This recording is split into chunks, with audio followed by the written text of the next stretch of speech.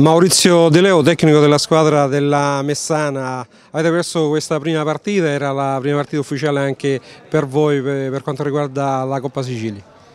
Eh, abbiamo perso, sì, è stato un test diciamo, di allenamento perché abbiamo, si può dire che è stata la prima amichevole che abbiamo fatto, pur, pur essendo un torneo, un torneo di, di Coppa Italia ufficiale. E abbiamo provato la squadra, purtroppo l'allenatore in prima per motivo di lavoro era assente, l'ho sostituito io. Penso con tanti ragazzi in campo ci siamo comportati bene. Come ha visto la Ionica? La Ionica, adesso c'è stata la fusione fra Ionica e Santa, Santa Teresa e Fucci.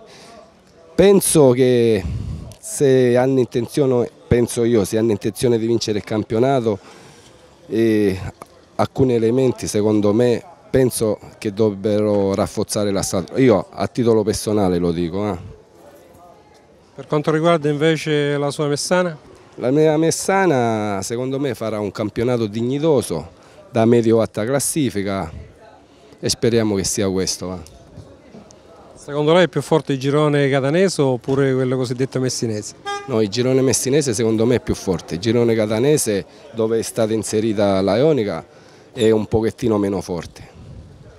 Nonostante tre Castagne, Acicatene, squadre che hanno giocato anche in Serie D? Sì, penso che Acicatene e Tre Castagne questa è la differenza, perché sono squadre di categoria superiore come, come si sa, con la speranza che la Ionica possa fare di tutto per vincere il campionato, io glielo auguro, ai tifosi e ai dirigenti. Va.